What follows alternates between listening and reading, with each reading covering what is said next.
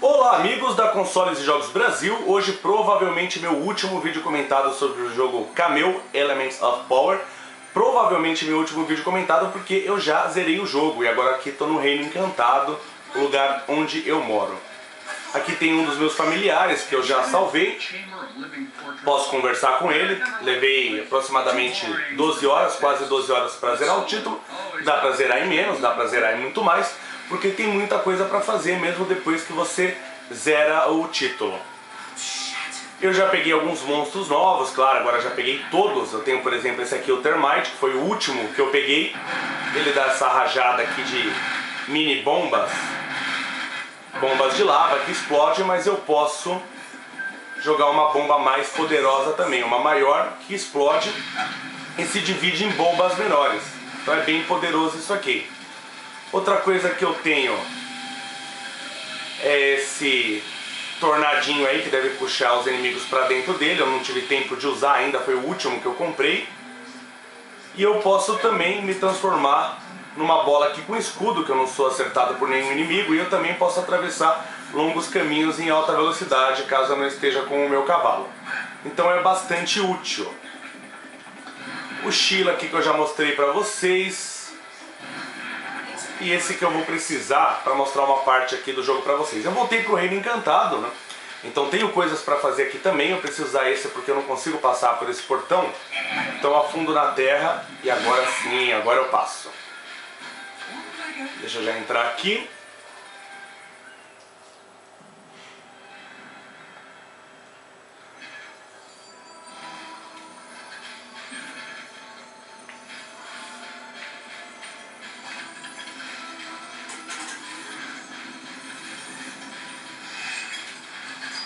Então posso dar uma explorada por aqui, provavelmente eu vou encontrar mais coisas para fazer. Eu já peguei alguma coisa aqui dentro quando eu voltei anteriormente, que eu não me lembro agora o que, que era.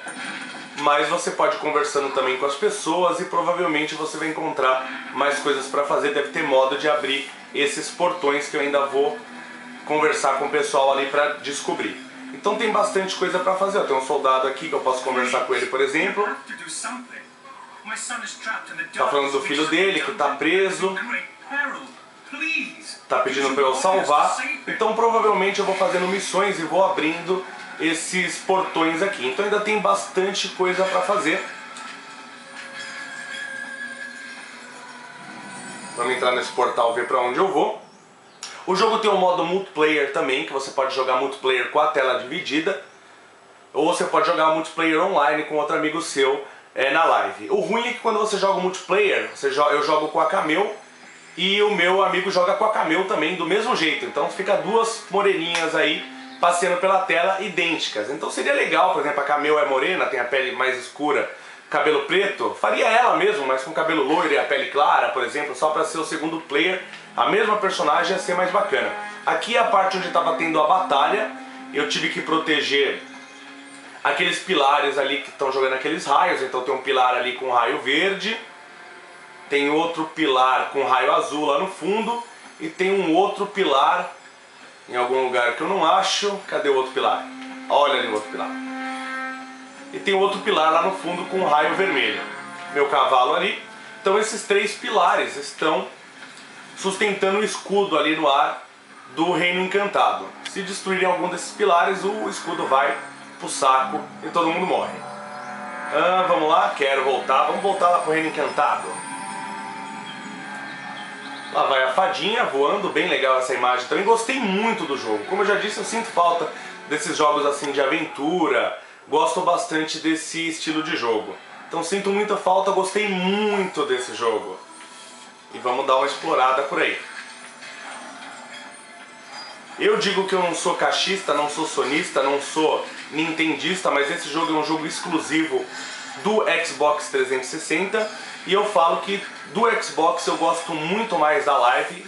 Eu acho a live muito boa, eu gosto, prefiro para jogar online na live e eu gosto do PlayStation 3 pelos jogos exclusivos. Para mim os jogos exclusivos do PlayStation 3 são bem superiores aos do do Xbox. Na minha opinião, eu gosto mais. Então não tem muito jogo no Xbox que me faz falta exclusivo como tem no PlayStation 3 para mim. Esse é um jogo que iria me fazer falta se eu não tivesse o Xbox.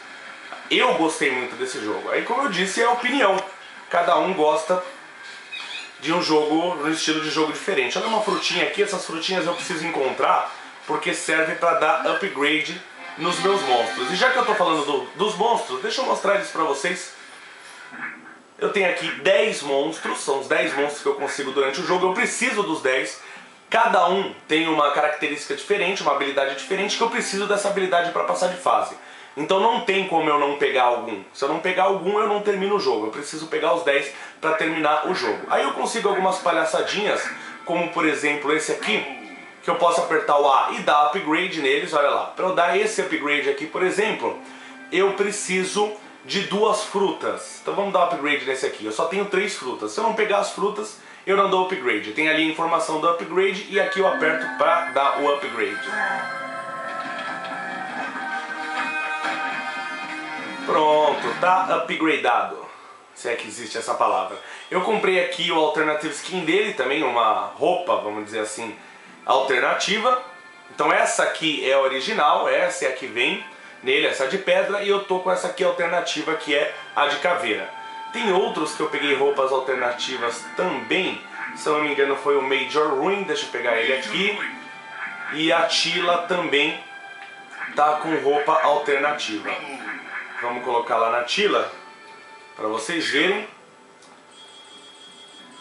E aqui a alternativa skin dela. Então ela pode ser azulzinha, pode ser marrom, nada demais, só um detalhe aí você pode comprar skin para cada um.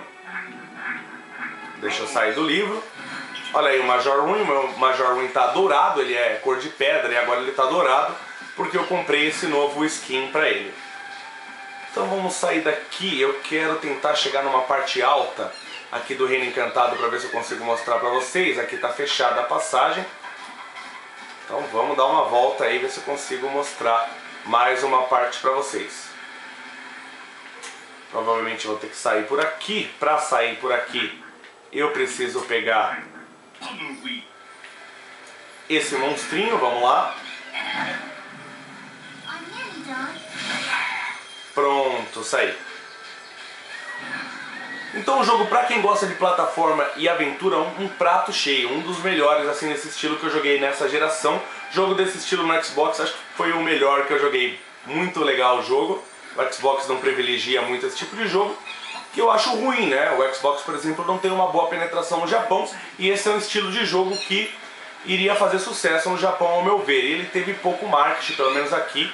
Um jogo de 2005 que eu só conheci agora, então imagino que ele não teve um marketing dos melhores, né? Tô aqui na parte mais alta do Reino Encantado, olha que bonito, isso achei muito legal, o jogo é muito bonito. As telas, as fases muito bonitas, muito bem detalhadas. Então vamos lá.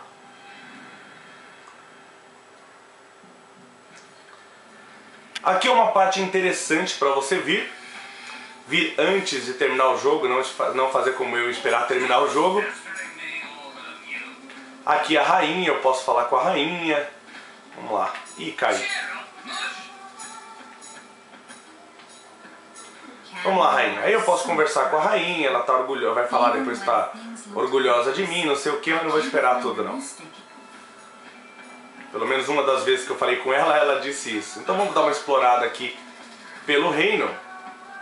Deixa eu ver se eu acho o que eu quero mostrar pra vocês. Tudo aqui é bem grande, então é difícil você achar de novo a parte onde você já passou.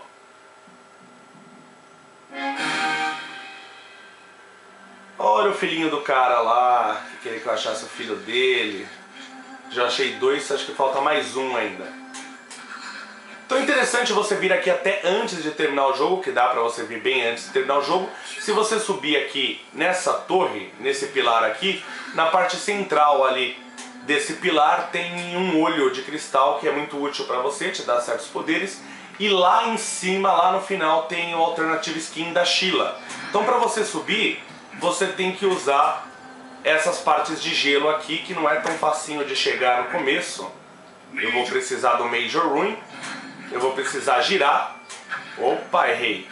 giro e depois me transformo na Sheila para ela segurar. Vocês estão vendo que não é fácil, eu escorreguei agora, mas vocês vão tentando, vão tentando uma hora aí vocês conseguem. E vocês vão ter que subir, tem o caminho de gelo, você tem que fazer o caminho certo, subir ali, descer, continuar o caminho, subir, tem vários várias aranhas aí que te atrapalham, se você encostar nela você pode cair. Então você vai fazendo o seu caminho até lá em cima e é interessante você chegar nessa parte aqui antes por causa do olho de cristal e da, da roupa alternativa da Sheila que é legal você pegar também.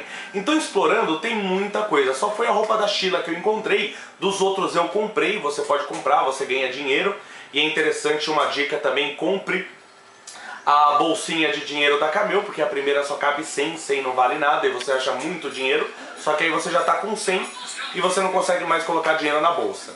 Então compre a bolsa da Camel, você vai comprar a bolsa para 200, depois para 400, depois para 700 moedas e vale a pena que tem umas coisas interessantes aí para você pegar.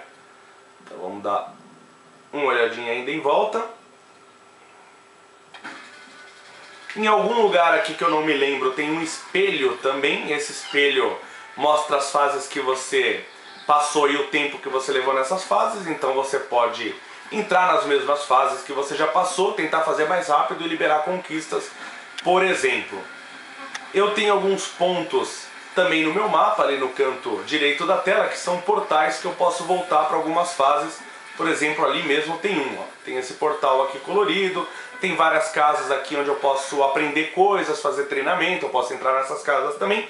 Então, como eu disse, mesmo depois que você termina o jogo, tem bastante coisa para você fazer no jogo. É um jogo que dura e como é um jogo muito antigo, você deve encontrar ele muito barato. Aqui tem um challenge, se eu quiser fazer esse challenge, por exemplo, não, não quero fazer esse challenge, mas só para mostrar para vocês que tem bastante coisa aí para você pesquisar e fazer. Mas são, lógico, coisas alternativas mas o jogo garante em torno de 12 horas de diversão, é muito divertido. 12 horas aí na história principal do jogo. tentei entrar naquele portal ali, eu não consegui, então vamos tentar entrar nesse aqui da direita. Um portal aqui, vamos ver se eu consigo entrar. Nesse eu consigo entrar. E provavelmente vou para uma das fases aí que eu já passei, posso pegar mais moeda, posso tentar comprar mais coisas. Então tem bastante coisa que você pode fazer. Então um jogo muito bom, Camel Elements of Power. Gostei muito, ao meu ver vale muito a pena. Quem gosta de jogo de aventura, jogo plataforma assim, vale muito a pena. Compre que é muito legal. Então voltei aqui para uma das fases que eu já passei, onde eu já encontrei um dos monstros por aqui. Você ganha monstros salvando seus parentes ou então derrotando o Troll das Sombras, que é muito legal. Você tem que absorver o Troll da Luz para poder atacar o Troll das Sombras. Então é uma parte muito legal do jogo que eu gostei muito. Eu estou procurando aqui um local para eu comprar alguma coisa para mostrar para vocês, mas não estou achando.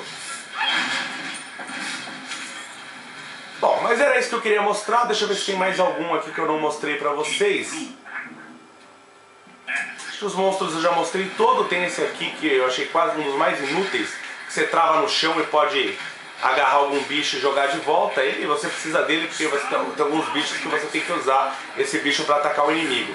Tem esse aqui da água, que eu posso tacar água e posso nadar né, dentro d'água, embaixo d'água, que você não consegue com a camel, então esse aqui você pode nadar debaixo d'água e quando você nada debaixo d'água, você joga torpedos em vez de jogar jatos d'água. É que essa água aqui é muito rasa, é difícil de ver. Mas era isso aqui que eu queria mostrar pra vocês, jogo muito bom, vale a pena, espero que vocês tenham gostado do vídeo, do jogo.